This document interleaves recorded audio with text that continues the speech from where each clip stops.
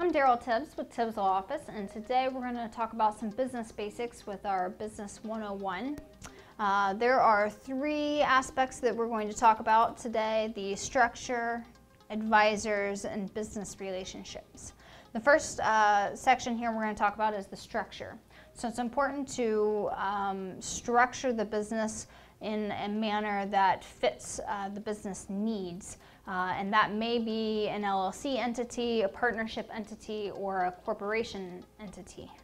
Now, it's important to understand that, um, for instance, uh, the difference between these, what the difference is and what the difference isn't. So with an LLC, um, generally that's not something that's going to go public. If you have a business that you eventually may want to have go public, you're going to want to choose a corporation entity. Now, choosing between, um, or it's, it's just important to choose the corporation structure up front. It's not necessarily important to choose whether it's going to be an S Corp or a C Corp up front.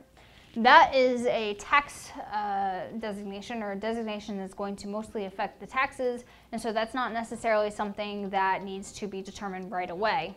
And I certainly recommend that folks talk to uh, their CPA or their financial advisors when they're coming to determining whether they are going to be an S Corp or a C Corp.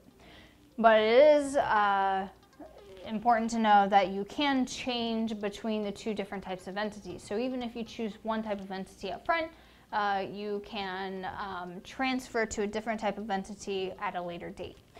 You can also be an LLC and um, be an S Corp at some point.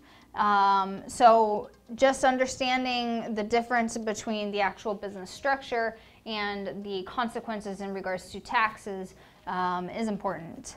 Um, and so certainly that's um, going to be further discussed with our advisors section here that we have coming up.